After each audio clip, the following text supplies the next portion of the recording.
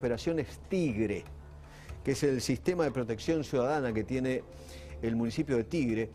Eh, dice, cada vez que paso frente al COT, desde hace unos meses, veo en el playón las decenas de patrulleros nuevos estacionados mientras la inseguridad golpea cada vez más fuerte en nuestro municipio. Es muy impresionante porque es cierto, están cero kilómetros nuevos y no están en la calle porque en el playón, ¿no?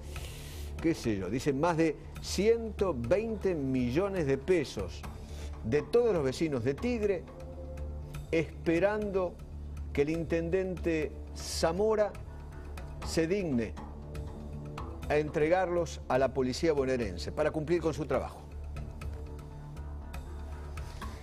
Está Nicolás Mazot. Nicolás, ¿qué tal? ¿Cómo le va? ¿Cómo anda? ¿Qué tal, Eduardo? Buenas tardes. Gracias por la invitación. ¿Nos puede ampliar esta información? En realidad me encantaría poder ampliarla, pero es, es, eh, tan contundente como simple. Eh, la provincia de Buenos Aires, eh, con muchísimos municipios, ha distribuido fondos para que los municipios adquieran móviles policiales que le tienen que entregar a la policía bonaerense. Entiendo que estas cosas las hacen porque es más ágil comprarlos de esta manera pero el municipio de Tigre y muchos otros municipios lo tienen que entregar a la policía bonaerense, es decir, son efectivos de la policía bonaerense los que se supone que deben patrullar las ciudades en esos móviles eh, para ser utilizados, en este caso, en el municipio de Tigre. Y, la verdad es que hace meses, yo no puedo decirlo con precisiones porque es muy difícil también encontrar la transparencia en la información, pero yo eh, creo que desde marzo o abril han empezado a llegar las primeras unidades y todavía no las vemos trabajar y no han sido entregados a, la policía bonaerense. Y vamos a decir la verdad, es en estas pequeñas cosas, Eduardo, en donde, en donde se le va la realidad a la gente todos los días. ¿no? Acá, Tigre, que, en algún momento ganó alguna fama de ser un, municipio eh, con, buenos servicios de seguridad, hoy vemos que pasan estas cosas. Eh, hay hay, hay eh, prácticas crecientes de inseguridad cuando el COT, que como bien decías es el Centro de Operaciones de Tigre, que también funciona con algunos efectivos de la Policía bonaerense, pero en la órbita 100% municipal, eh, cuando el COT tiene que cambiar de turno cada 12 horas, eh, se generan zonas liberadas que en muchos barrios del municipio eh, se prestan a, actos de delincuencia, pero permanentemente, ya es casi sabido que a las 9 de la mañana y a las 9 de la noche, cuando, cuando ocurren los cambios de turno, quedan zonas liberadas y estos patrulleros, entre otras cosas, podrían estar previniendo ese tipo de delitos. Entonces, les agradezco el llamado.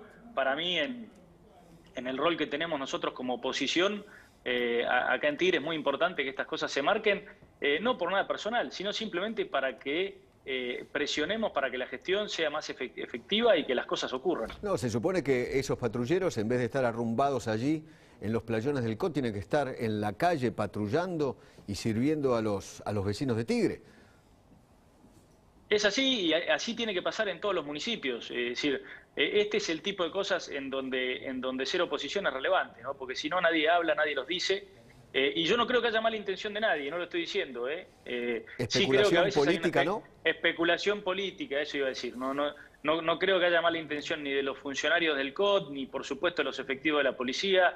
En, lo más mínimo quiero cargar las tintas contra ellos, pero sí creo que hay alguna especulación política de que por ahí, eh, en, los comienzos de una campaña, esto se puede hacer algún montaje y algún espectáculo y en realidad va a la Más cerca de, las PASO o más cerca de, la, de las generales, por ahí.